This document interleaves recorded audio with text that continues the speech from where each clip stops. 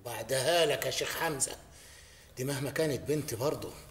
وكلامك معاها بالطريقة ديت هو اللي قلبها علينا. هي الاوضاع اتقلبت ولا إيه يا حاج نصف؟ مين اللي بيتكلم غلط ومين اللي اتكلم صح؟ أنا مشيت وراك وسمعت كلامك وأنا متأكد إنها هتعند ومش هتسمع لصوت العقل. وما دام اللي توقعته اتحقق يبقى سيبني بقى أرجعها لك البيت بطريقتي. هتعمل إيه يا شيخ حمزة؟ بابا. الحمد لله على سلامتك. خلاص هتنوري بيتك وشركتك تاني. الله يسلمك. الحمد لله على السلامة يا هبة. الله يسلمك يا أدهم. ألف مبروك يا هبة هانم. أنا قريت الخبر في الجورنال وعشان كده رحت أطمن عليكي في الاسم. قالوا لي إنك هتخرجي من النيابة بعد ما ظهرت براءتك. الحمد لله على سلامتك. متشكرة. مجدي بيه عنده قرى سياحية في شرم والغردقة وعميل عندي في الشركة. آه أهلا وسهلا. أهلا وسهلا. شكرا على شعورك. صدقني يا سعد بيه أنا من ساعة ما قريت الخبر لحد ما جيت هنا ما كانش عندي شك ولو واحد في المليون في براءة هبة هانم. أنا صحيح أعرفها من وقت قصير. لكن معادن الناس الطيبة بتبان على طول. بشكرك على شغلك. بعد إذنك. يلا. يلا يا حبيبتي.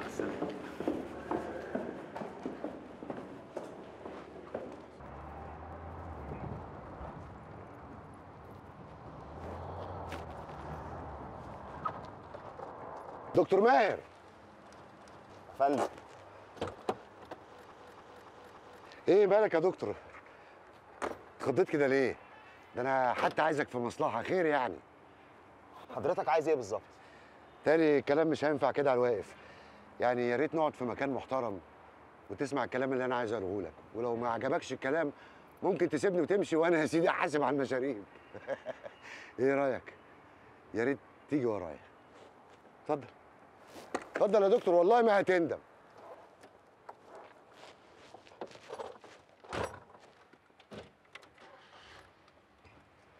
ورايا يا دكتور.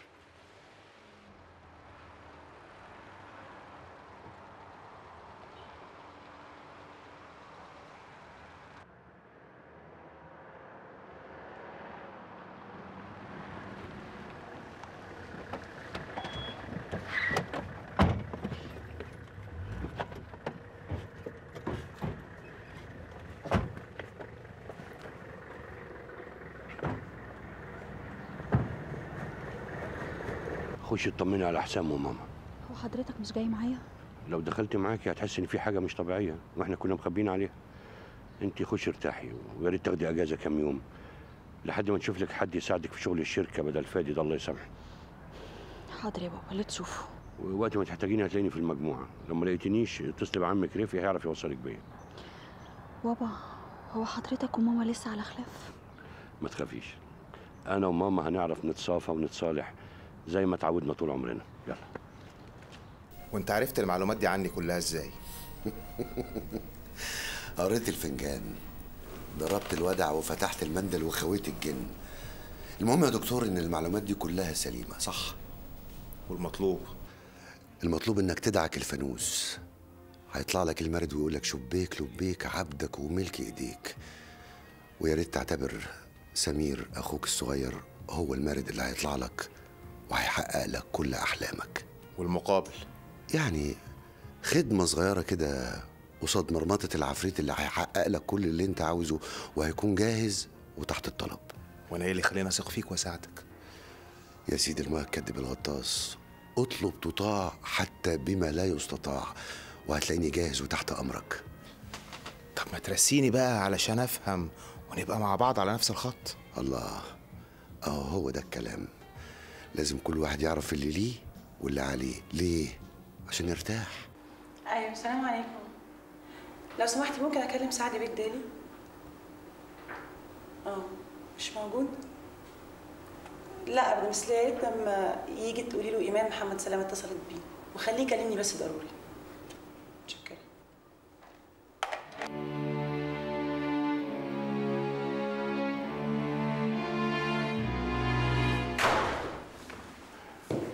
السلام عليكم. عليكم السلام ورحمة الله. وبركاته طمني هبة عاملة إيه؟ لا الحمد لله.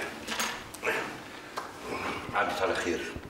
زي ما ظابط القضية قال إن الحظ خدمها والحقيقة ظهرت بدري. طب الحمد لله. وألفت رجعت البيت. ليه هي كانت فين؟ آه معلش. يعني في وسط الدوشة نسيت أقول لك إن ألفة كانت تعبت شوية ونقلوها المستشفى. بس الحمد لله رجعت بيتها. الحمد لله. أنا آسفة. إيمان كل اللي حصل ده ترتيب من ربنا سبحانه وتعالى وأكيد رايد لنا الخير يعني. أكلت حاجة؟ طلبت الأكل. أنا اللي بسألك يعني أكلتي ولا لسه؟ لا. بس أصل إيه؟ في إيه؟ بصراحة أنا كلمت ماما وقلت لها على اللي حصل. ما هي كان لازم تعرف من الأول. حقك طبعا وحقها يعني.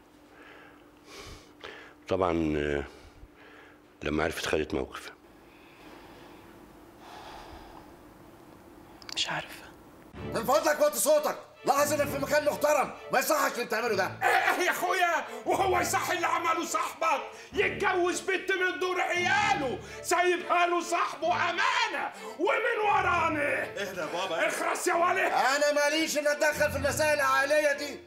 الراجل اتجوز حسب الشرع وبنتكم كانت مبسوطة حسب علم وانت تعرف إيه انت عن شرعنا عشان تتدخل فيه؟ ولا كلمة زيادة. أنا كنت فاكرك راجل كبير ومحترم لكن تجريحك وكلامك الماسخ ده أنا لا يمكن أسمح بيه ابدا. أنا آسفة يا رفقي بيه بالنيابة عنه.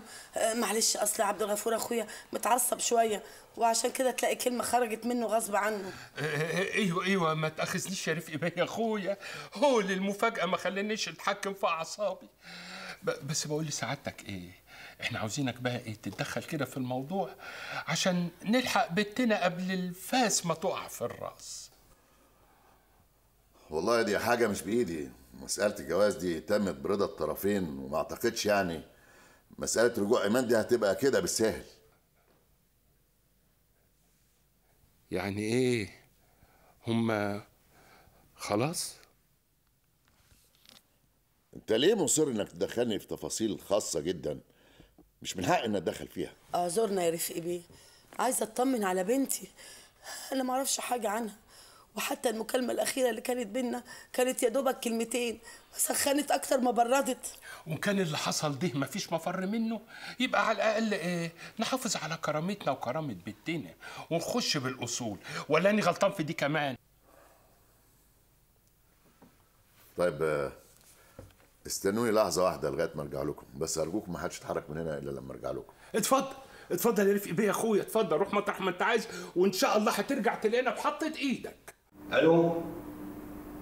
عرفت آه. طيب آه. يعني خليهم في المكتب أنا جاي لك مسافة السكة. معلش مضطر أنزل تاني. ليه بس في إيه ماما وخالك في المجموعة. إيه؟ إيه ما تتخضيش مفيش حاجة. أنا هروح أشوفهم عاوزين إيه بس؟ لا استنى هاجي معاك. ما تقلقيش نفسك. أنا هروح أحط النقط في الحروف وأرجع لك على طول.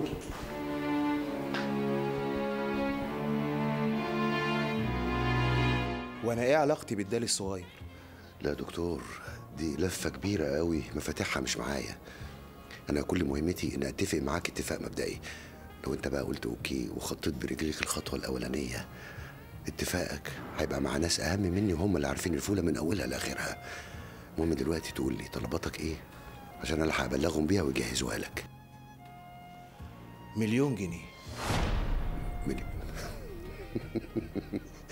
يا دكتور ده أنت جامد قوي عموما مش مهم وأنا هدفع حاجة من جيبي. خلاص يا دكتور استنى مني تليفون النهارده بالليل أو بكرة بالكتير. وإن شاء الله اللي فيه الخير هيعمله ربنا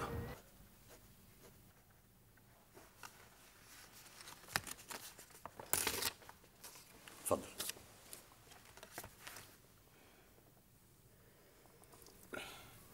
آه، وسعادتك بقى ده مؤخر ولا مقدم ولا مهر ولا الصداق المسمى بيننا ولا؟ ده اللي عندي. انت طلباتك إيه؟ شوف يا سعد باشا يا اخويا ايمان بنت بنوت وسعادتك سيد العارفين ومن اكبر عائلات الغربية وما يصحش كده برضك إيه انها تتجوز في الضلمه وبرضه مش معقول امشي معاها في زفة أو أقعد معاها في كوشة وأنا في السن ده؟ لا محدش قال كده. إحنا برضك بنفهم في الأصول. ولا إيه يا غالية يا أختي؟ سيبك من غالية هانم وخليك معايا أنا وقول لي طلباتك إيه بس باختصار. هو مشوار صغير لحد البلد. تجيب إمام معاك وساعتين زمن. تقعدهم مع أهلها يتعرفوا عليك وتتعرف عليهم ونقول لهم إيه إن إحنا كتبنا الكتاب كده على الضيق في مصر عشان ظروف المرحوم اللي ميت ما بقالوش يامه إمتى؟ في الوقت اللي حضرتك تحدده. إحنا برضك عارفين ظروفك يا سعد باشا يا أخويا. وبعدين يعني ما تخافش. إحنا بعد اللي عملته إيمان مش هنمسك فيها عشان تقعد معانا وفي نفس الوقت مش هنبقى نيجي نزورها. في حاجة تانية؟ امم ورقة صغننة كده تكتب فيها إيه المؤخر. عشان إيه لو جد في الأمور أمور. ما أنت عارف يا سعد باشا يا أخويا وسعادتك سيد العارفين. أم العيال لسه على ذمتك. وممكن يحصل حاجة كده ولا كده. وبكده نبقى إيه حافظنا على حقوق البيت اللي هي إيه فرطت فيها لما اتجوزتك من ورانا. أنا دلوقتي هكتب شيك تاني. بس حضرتك مش هتستلمه في إيدك ولا غاليه هانم. إيمان هي اللي هتستلمه.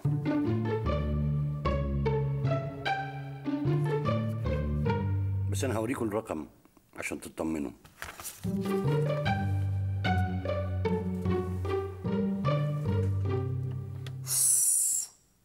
أيوه أيوه أيوه. أنا فاكر اليوم ده. ماله؟ كنت كنت يعني كدبت عليك. ما رحتش البنك زي ما قلت لك. ورحت المزرعة اللي قابلنا فيها أبو النجا بهنس وهناك قابلت راجل أجنبي. ياه للدرجة دي؟ ويا ترى إيه اللي خلاكي تفكري تكدبي عليا الكدبة دي؟ أصل أنا يعني كنت محتارة وضميري كان بيأنبني قوي وكنت بدور على وقت يعني أتشجع فيه عشان أقولك على كل حاجة حصلت. عشان تقولي أعمل إيه؟ طب مش بس افهم الأول الراجل الأجنبي ده كان عايزك في إيه من ورايا؟ عايز يستغلني في لعبة تتلعب على سعد الدالي. برضه سعد الدالي؟ وسعد الدالي ده إيه؟ عالمي؟ والمرة دي بقى المصيبة إيه؟ لا ما أنا أول لما سمعت اسم سعد الدالي قلت له لا استنى أفكر في المبدأ الأول وبعدين يعني أرد عليك. وطبعا ضحك وقال لك آه، دخول الحمام مش زي خروجه. إيه ده؟ طب وانت عرفت إزاي؟ بقول لك إيه أنا عمري ده ما عداش على الفاضي. المهم كملي. عملية نصب كبيرة قوي. يخسر فيها سعد الدالي 100 مليون جنيه. يا قوة الله. وانتي نصيبك كام؟ وعدني بتوكيل عربيات ألماني بقول لك إيه ده لعب عالي ومن العيار التقيل قوي. خلينا إحنا ماشيين ورا ابو النجا لغاية ما ناخد نصيبنا ونقول يا فكيك. طب والراجل الأجنبي؟ انت تبلغ ابو النجا بمنتهى الأدب إن العرض مؤجل لغاية ما تستجمعي شجاعتك وتنفذيه. أيوة. بس الراجل الأجنبي دوت يعرف يعني حاجات عني كتير قوي. حاجات أكتر من اللي أنا عارفها وحكيتها لي؟ لا. تقريبا يعني بنسبة 95% والخمسة الزيادة دول مؤثرين قوي؟ لا مش مؤثرين. خلاص يبقى مفيش حركات تاني. ومن هنا ورايح رجل على رجلك حتى لو راح تزور أمك الله يرحمها. دي ديابة سعرانه عايزة أستاذ زي نجيك منهم. لا يمصمصوك يا حلوة. معقول اللي انت عملته؟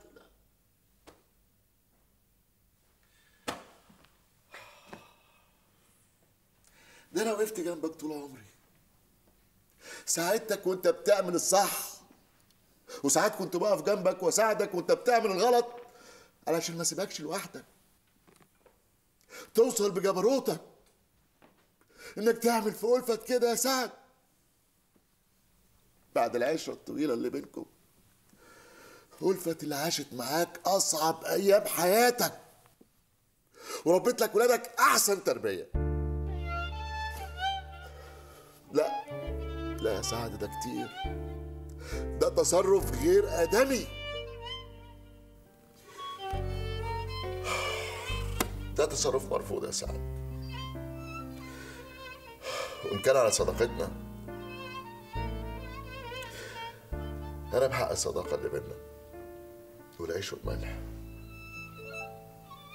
أنا هقف جنبك يا سعد لحد ما تعدي أزمتك. لأن عارف كويس أوي الظروف اللي بتمر بيها. لكن بعد كده يا سعد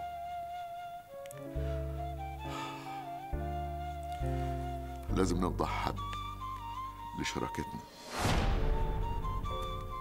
وصداقتنا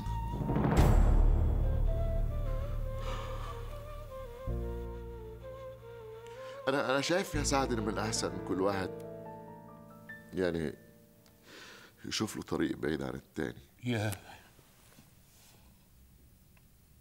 للدرجة دي يا رفيق؟ ده صعبتها على الكل. قصاد حلم واحد.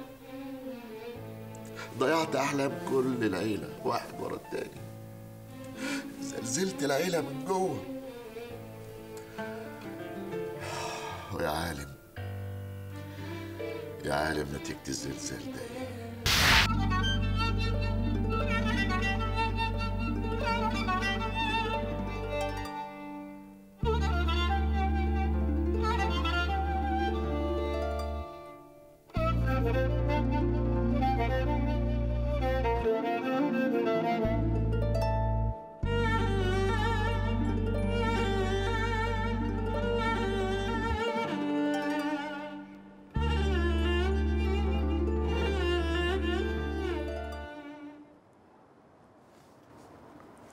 مساء الخير مساء النور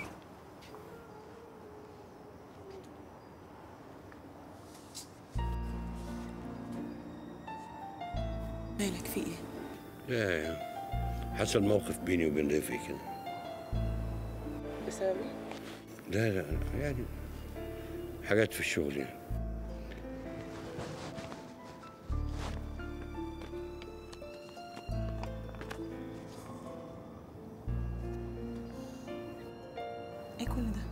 من وجهة نظر خالك ولا من وجهة نظري؟ أنا؟ مش فاهمة خالك شايف إن اللي مكتوب في الشيك ده ده مؤخر صدائق. في حالة لا قدر الله حصل انفصال. أنا شايف إن اللي مكتوب فيه ده مهرك لأن أنا ما خطرش على بالي في لحظة إن أنا أطلقك أيوه بس خالي ملوش دعوة بيا. وأنا ما طلبتش حاجة. أنا كفاية عليا أنت زي ما أنت كده.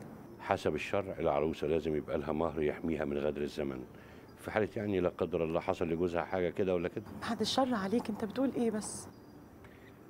أنا ما دفعتلكيش مهر. والمهر ركن رئيسي من أركان الجواز.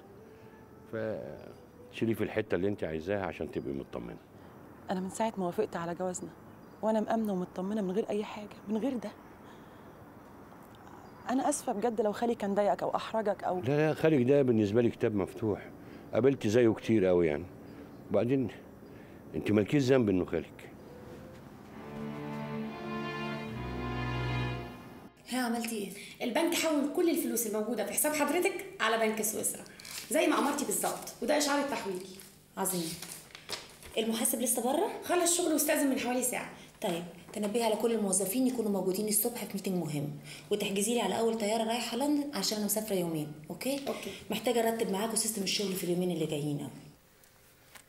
ده الفاكس اللي جالك من لندن ترجمته. بس الحقيقة في حاجة لفتت نظري كده وكنت عايز أسأل فيها. بارك الله فيك. خير إن شاء الله. هي الأرقام المهولة اللي موجودة في بورصة لندن واللي جه ذكرها في الفاكس ده دي كلها بنضرب بيها في البورصة. معلش اسمح لي أنا اصلي إيه خدت فكرة عن الموضوع كده غصب عني وأنا بترجم. تفتكر يعني يا متر إن إحنا لو مش واثقين فيك وعارفين إن قلبك علينا ومعانا كنت اديتك الفاكس عشان تترجمه؟ دي ثقة أنا أعتز بيها. يا متر أنت بقيت واحد مننا. لك ما لنا وعليك ما علينا. وبعدين أنت ناسي إن تحويشة عمرك كلها بين إيدينا. شوف يا سيدي بسم الله. اتفضل متشكر. تفتكر يعني بخبرتك وذكائك الملموس هندفع الأرباح اللي معدية فوائد البنوك ب 8 وساعات 10% منين إلا لو كنا بنغامر مغامرات محسوبة بودايع الناس اللي عندنا. إيه مالك اتخضيت فجأة وشك اصفر كده ليه؟ خفت على تحويشة عمرك؟ لا ابدا أنا بس آه، بقيت عاوز أطمن أكتر. لا يا سيدي اطمن وحط بطنك بطيخة صيفي إحنا كل أسبوع بندفع أكتر من 30 ألف استرليني للخبراء بتوع البورصة هناك. عشان يرشدونا نتحرك هناك إزاي؟ وكل ما بنكسب من وراهم أكتر نسبتهم بتزيد أكتر. عشان كده قلبهم علينا بنسبة 100% ها؟ هديتوا بالك ارتاح ولا تحب تسحب فلوسك وتبقى برضه مستشارنا وأخونا وحبيبنا؟ لا. أسحب فلوسي إيه؟ ده أنا ما صدقت. ده, ده أنا كنت في غرقة وتوهة لما كانت الفلوس معايا قبل ما ربنا يهديني ويخليني أحطها عندكم. بس يعني الفضول هو اللي كان مخليني أسأل مش أكتر. آه. الفضول ولا الشيطان والعياذ بالله؟ لا والله الفضول. الله يلعن أبو الشيطان. وإيه اللي يخلينا نعمل كده؟ وما نعملش كده ليه؟ انت مش شايف اعلاناتهم في التلفزيون والجرايد والمجلات والفوائد الوهمية كمان اللي بيدفعوها للمودعين؟ مسكينة. تحب من بكرة نزل إعلانات في الجرايد والمجلات وفي التلفزيون.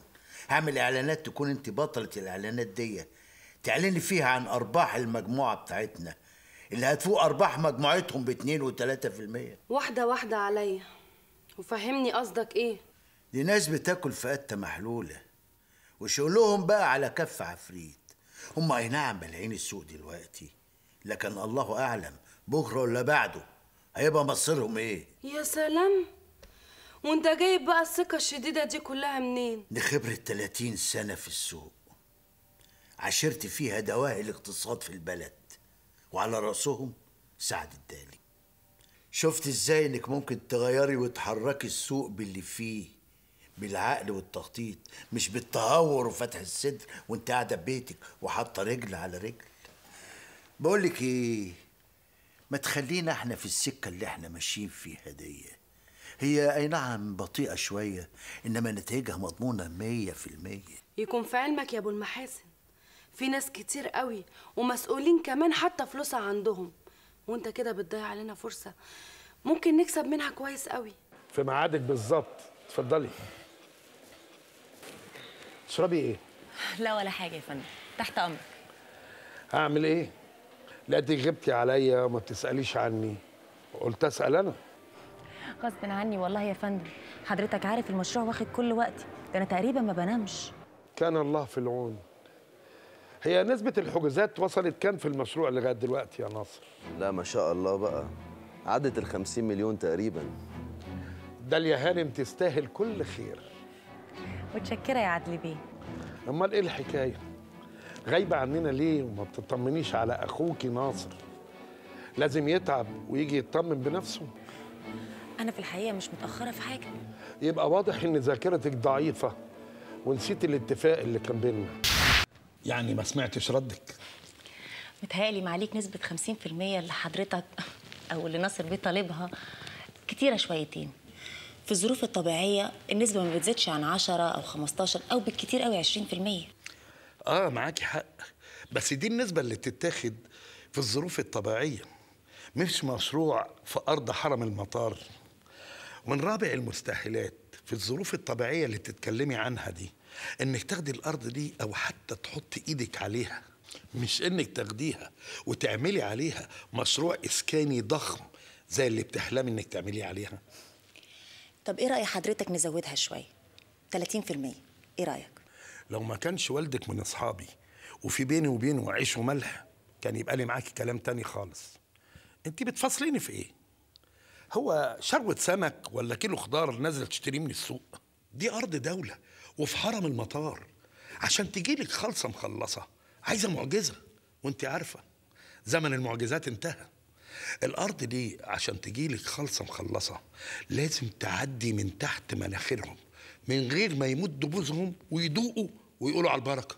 خلاص يا فندم أنا ما أقدرش أزعل حضرتك 50% بس أنا عندي طلب. نعم. نأجل النسبة لحد ما أحط إيدي على الأرض وأقدر أخطط لها وأشغلها وأكسب من وراها. وليكي عليا لغاية ما توصلك الأوراق ممضية. لا أسأل عنك ولا أتصل بيكي لحد ما تجيني وتقولي لي الاتفاق جاهز ومعاك النسبة. أيام عدت وفضلها أسابيع وشهور وسنة وشوية وإعلانات وباب الحجز مفتوح على البحري وانت ودن من طين وودن من عجين. اضطرتيني أعطل ناصر وأبعته بنفسه يطمن عليكي لحسن يكون الفلوس الكتير اللي دخلت لك. غيرتك من ناحيتنا ونسيتك الاتفاق. اتفضل يا فندم. ده تشيك باسم ناصر بيه بالمبلغ اللي اتفقنا عليه 50%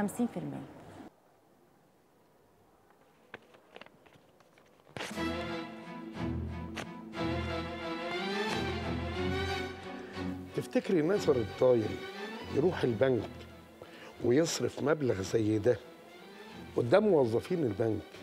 هيقولوا المبلغ ده اديتهوله مقابل إيه؟ أنا آسفة يا فندم. بس أنا الكاش اللي معايا ما يكفيش المبلغ ده كله.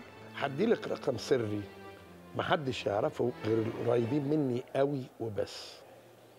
الرقم ده في حساب في سويسرا. هتحولي عليه المبلغ. هيكلموني يقولوا لي المبلغ وصل؟ هكلمك وأشكرك. هيقولوا لي المبلغ ما تحولش؟ هزعل منك قوي.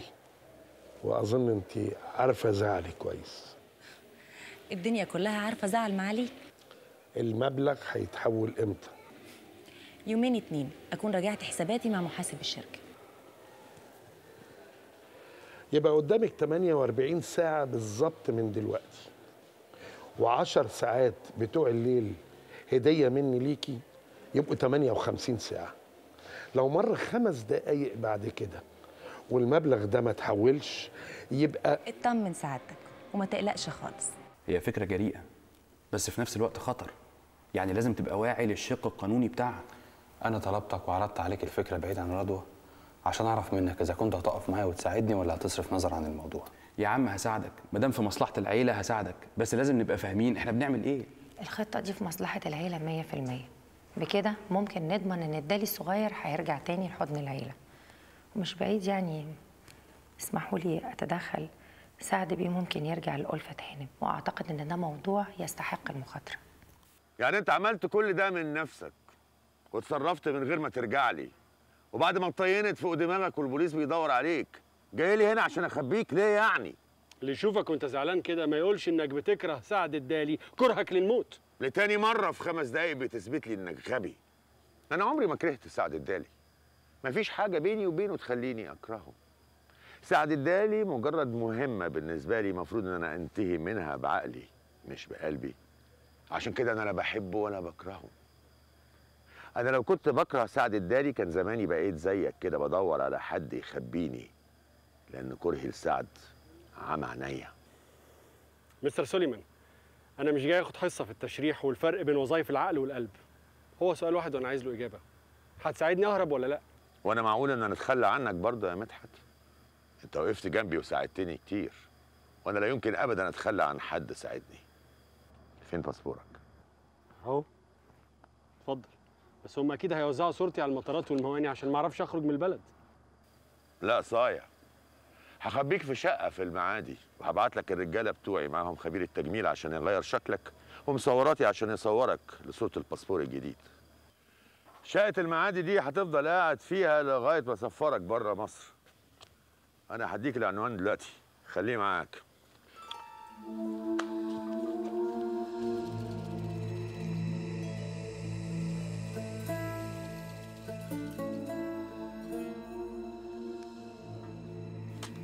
اتفضل.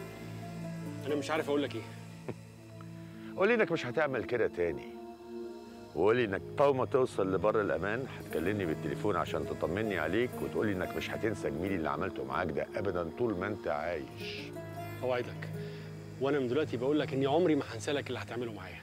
أنا متأكد من كده. اتكل. شوف وشك بخير. محدش عارف الخير هيكون موجود فين. شكرا مستر سوليمان شكرا.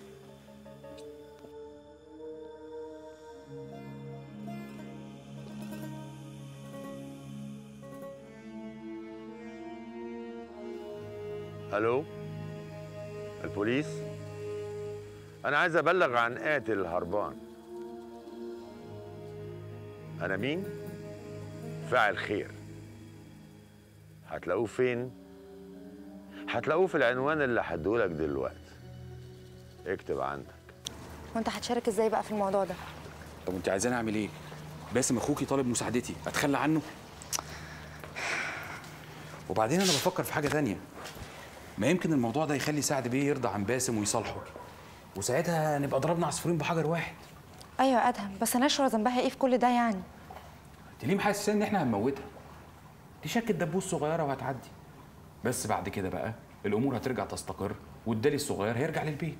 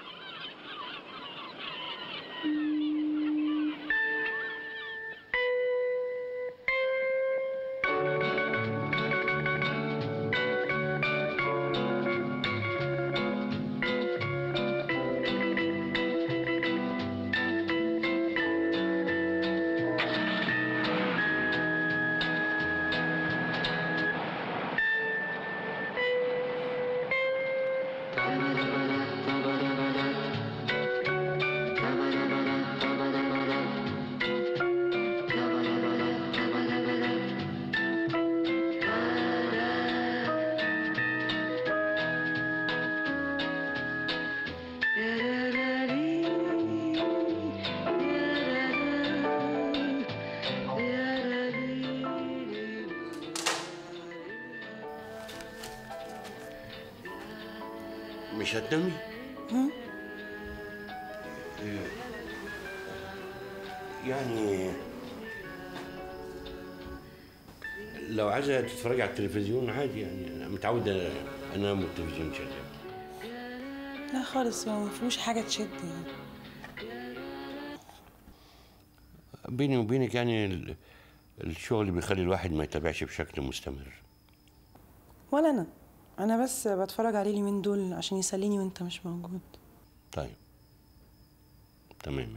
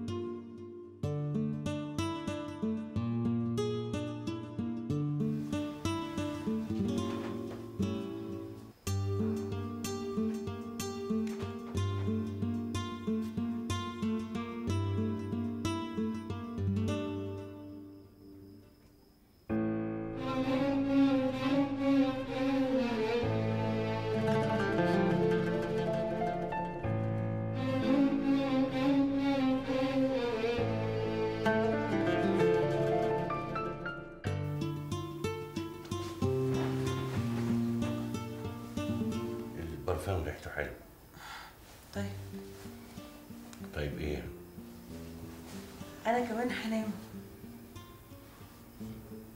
أه تحب أنام في الأنتريه؟ لا خالص ليه؟ يعني يمكن تكوني مكسوفة. لا. لا مكسوفة ولا لا مش مكسوفة؟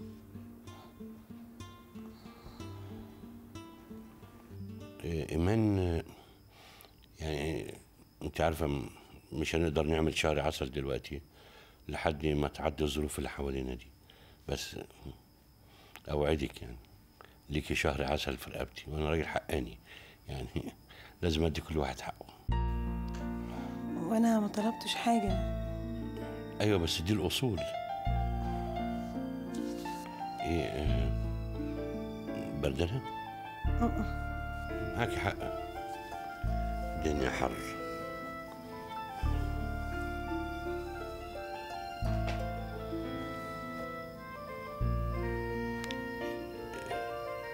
النور زي ما تحب بس البرفان ريحته حلوة بجد يعني.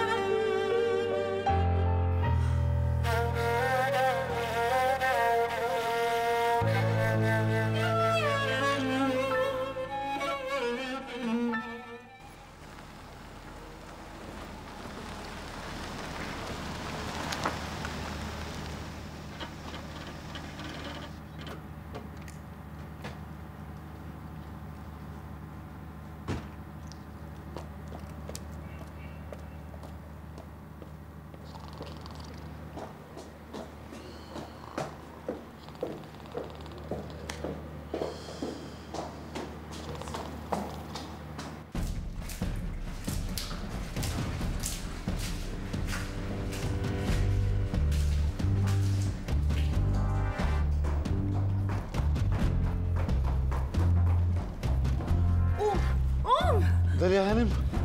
خير في إيه؟ فين زميلك التاني؟ فين البواب؟ البواب نايم هنا وزميلي في المستشفى مراته تعبانة. اقفل لي الباب ده بسرعة؟ في حرامي بيحاول يحرق شركتي فوق وانتوا هنا نايمين. حرامي؟ انت لسه هترفع لي في حواجبك اتحرك بسرعة. يا جعادي يا جعادي اصحى يا جعادي. تعالى بسرعة في حرامي فوق ورايا. بسرعة يا جعادي.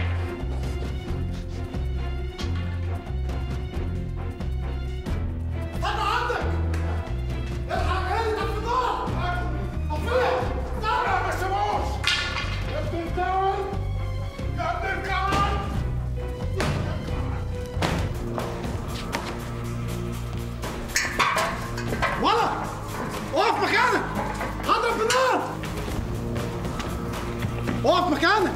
بقول لك هضربك بالنار.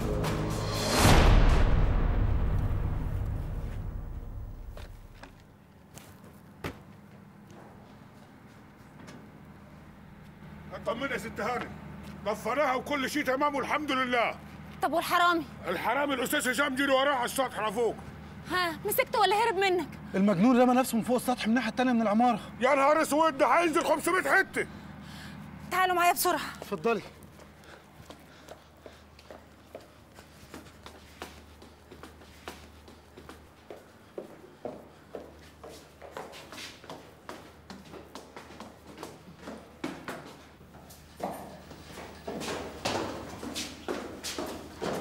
الحمد لله جاي سليمه ست هانم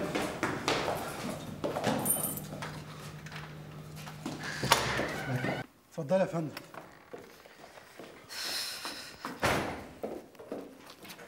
امسك وانت كمان خد. إيه دول يا ست هاني دول عشان تفهموني بسرعة وما نضيعش وقت. قبل البوليس ما يجي سكان المنطقة كلها هتصحى. انت تنضف لي قدام الشركة كويس وتمسك لي الباب بتاع الشركة ده تخليه زي الفل أحسن من الأول. وانت ترجع تنام زي ما كنت نايم. أنتوا الاتنين لا شفتوا حاجة ولا سمعتوا حاجة من اللي حصلت. مفهوم؟ مفهوم. مفهوم إيه يا جعيد؟ هو إيه اللي مفهوم ده؟ طب والشركة اللي كانت تقول عاديه يا ست هانم؟ طب افرض حضرتك كان جرالك حاجة جوه الشركة؟ أنا الحمد لله ما كنتش جوه الشركة. والشركة سليمة وما حصلش حاجة. أنا مش عايزة شوشرة عشان الناس اللي بتحجز ما تخافش. وبعدين بقى حضرتك واللفندي اللي ساب الشغل والبيل اللي كان نايم أول ناس هيتهموهم بالإهمال. ومش بعيد كمان يقولوا إن أنتوا اللي رميتوا الحرامي من فوق السطوح. امم لا كلام سعادتك مظبوط يا فندم. جعيدي نفذ اللي قالت عليه الهانم بسرعة. حاضر. وأنا هنزل أكمل نوم وقبل ما أنام هقفل باب العمارة من جوه. لا تقفل ولا تفتح. سيب كل حاجة زي ما كانت قبل ما أجي. ممكن؟ ممكن يا فندم.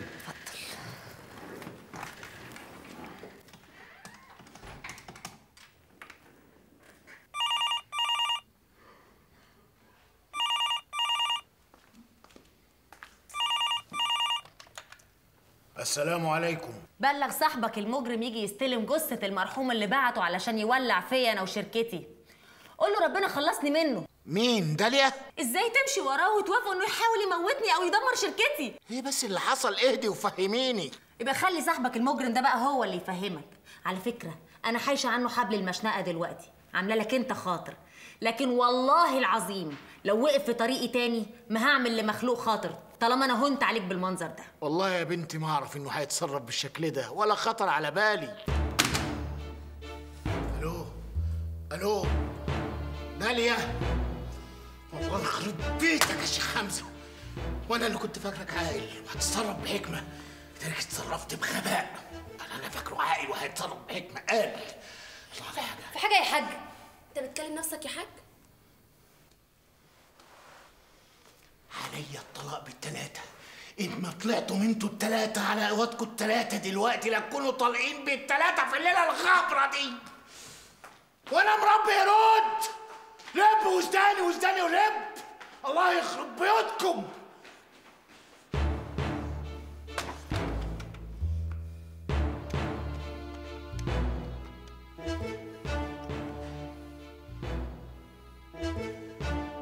في إيه يا شيخ حمزة؟